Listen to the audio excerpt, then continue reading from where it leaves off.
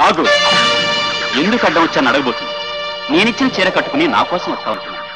రాలేదు. అందుకే ఎదురొచ్చాను. ఆడదాన్ని అల్లరి చేసిన వాళ్ళ చరిత్ర చివరికి ఏమైందో నీకు తెలిసే ఉంటుంది. ఏ శ్రీరామచంద్రుడి చరిత్ర తిప్పి చూస్తే వీధికో కన్నెపడుచు గడపకో ఆడపడుచు ఈ కౌగిట్లో నలిగిన వారు. అందుకే నిన్నందుకో చూస్తున్నాను. అందుబాటులో లేని వాటి మీద ఆశలు పెట్టుకోవడం అవివేకుల లక్షణం. అందని పళ్ళు పుల్లనానేది అసమర్థుడి లక్షణం. సమర్థుడు ఆ కొమ్మనే వంచి ఆ పళ్ళనే తింటాడు. ఆ కొమ్మ అందకపోతే? మరొకరికి అందకుండా ఆ చెట్టుని నరికేస్తాడు. రాణి నా కన్ను ఎవరి మీద పడదు? పొరపాటున పడిందా? దాన్ని సాధించే వరకు నిద్రపోదు.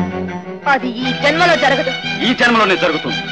ఈ ఊరిలో ప్రతి ఒక్కడు బంగారమో ధాన్యమో నా దగ్గర తాకట్టు పెట్టనవాడంటూ లేడు నువ్వు నీ యవ్వనో నా దగ్గర తాకట్టు పెట్టు. నీ కన్యత్వాన్ని నాకు బహుమతిగా ఇచ్చే